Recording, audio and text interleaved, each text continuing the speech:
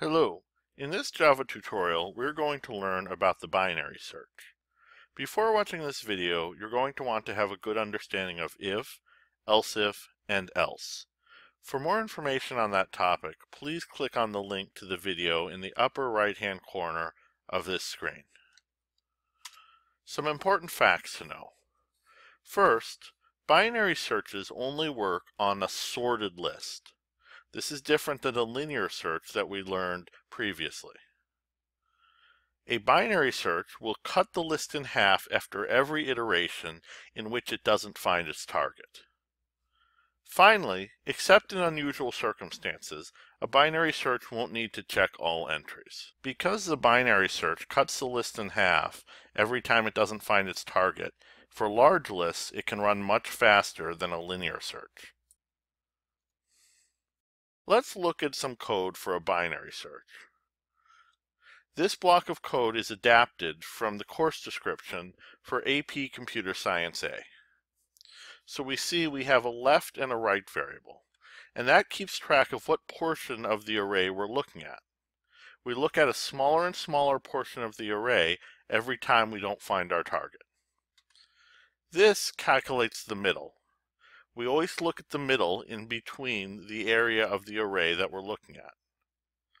This line of code checks if the target, the number we are looking for, is less than the middle of the list we are looking at. This line of code checks if the target is greater than the item we are currently looking at. And this else is if we found the exact match of the target. The else block of code returns the index where our target is located. If we go through this while loop and check out the entire list and don't find our target, we return negative 1. That signals that the target value is not located in our array. Let's start tracing this out. For our purposes, we're going to assume our list parameter equals this one-dimensional array of size 5, and our target parameter equals 3. So we're looking for the number 3 in this array. It doesn't exist, so we know we are going to end up returning negative 1. On our first line of code, we're going to set our left value to 0 because we're going to be searching starting from our leftmost area. And our rightmost area, we're going to set to 1 minus the list length because we're going to end our search at the end of this array. The left and right will come closer together until we either find the value or they switch sides. Here we're checking to make sure left is either to the left or on top of right. If the left and the right switch sides, we know we've checked the entire area of our list where our target could be, and we know it must not be there. Next, we're going to calculate the value in the middle of the left and the right arrow. So we're going to say left plus right, which is 0 plus 4, divided by 2, which is 2. So this is the index we're going to look at. Now we're going to check if our target, the value we're looking for, which is 3, is that less than list index middle. Index middle is 2, so we're going to go 0, 1, 2. So we're checking is the number 3 less than the number 4. That is true. So we're going to set right equal to middle minus 1. So now right equals 1, and this is our left and right arrow. So we're only going to be looking at the part of the array that's between inclusive the left and the right arrow. Next, we're going to go back up to the top of the while loop is left less than or equal to right. Left is less than or equal to right. So we're going to set the middle again. 0 plus 1 divided by 2. Now technically this is 1 half. However, since we're dealing with int division, because left and right and 2 are all ints, we're going to take everything off after the decimal point, so we round it down to 0. So middle is 0.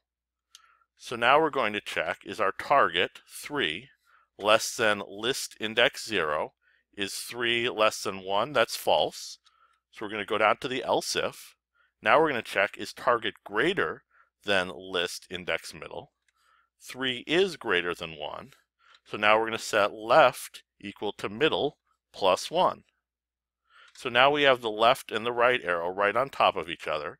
The only part of the list we're looking at is this index right here. So now we go back up to the top. Left is still less than or equal to right. We set middle equal to 1 plus 1 divided by 2, so middle is 1. We're checking if target 3 is less than list index middle. 3 is not less than 2. So now we check is target 3 greater than 2? It is. So we set left equal to middle plus 1. Now we can see these have switched over and we don't have any more area of the list to look at. So now we check while left is less than or equal to right. This is a false statement because left is not less than or equal to right. So we terminate the while loop. This means we know that the target 3 is nowhere on this list because there's nowhere else to look. And we return negative 1 to signal that our target is not on the list.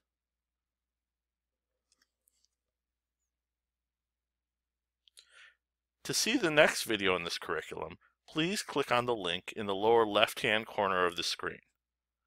To see the entire curriculum, please click on the video link in the lower right-hand corner of the screen.